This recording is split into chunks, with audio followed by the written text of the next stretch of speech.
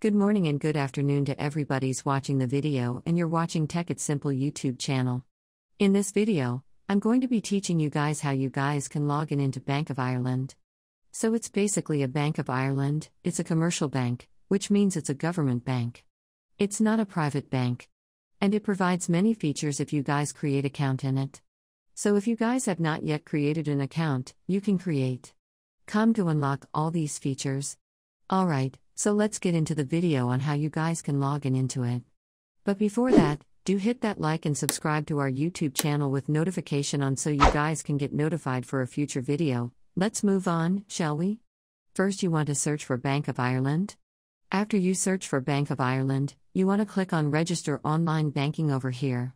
Once you click on Online Banking, it's going to dig into the sector where you guys can log in into your online bank. Alright, so basically, once you're over here, you want to click on where it says Login over here. Once you click on it, it's going to ask you where you want to log in into your business or your 365. If you guys have a business account, you want to go on Business Online. If you have like a normal account, you want to go log in into 365. I have a normal, I'm going to go log in into 365. After you click on it, it's going to take you to the login page. So you need to wait for some time as you guys can see once you're over here, you need to enter your user ID.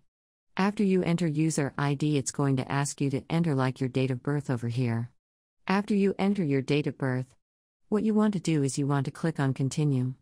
After you do that, follow the information entered of yours correct. It's gonna, you know, log in into your account. So that's basically how we guys can log in into Bank of Ireland. Hope you guys are able to understand the video. If you guys did be sure to hit that like and subscribe to our YouTube channel with notification on so you guys can get notified for a future video. And if you guys have any questions you can ask us in the comment I'll be happy to answer guys see you guys my next video. Bye bye.